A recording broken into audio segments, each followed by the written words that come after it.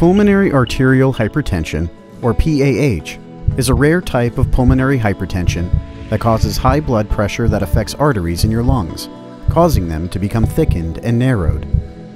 This results in your heart needing to work harder to pump blood through those narrowed arteries.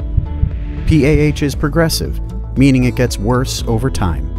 PAH occurs more frequently in women between the ages of 30 and 60 and disproportionately impacts African American and Hispanic women.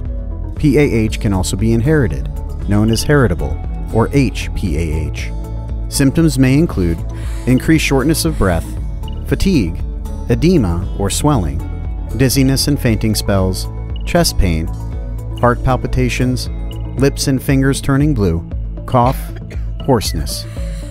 Many of the symptoms of PAH are similar to those found in other health conditions, which can make diagnosis difficult. It is vital to alert your healthcare provider of all symptoms you are experiencing and any history of lung disease in your family.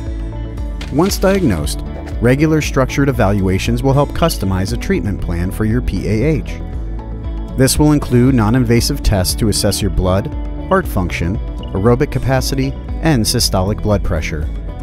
Although there is no cure for PAH, there are treatments available to control symptoms and improve your quality of life. Learn more at lung.org/pah.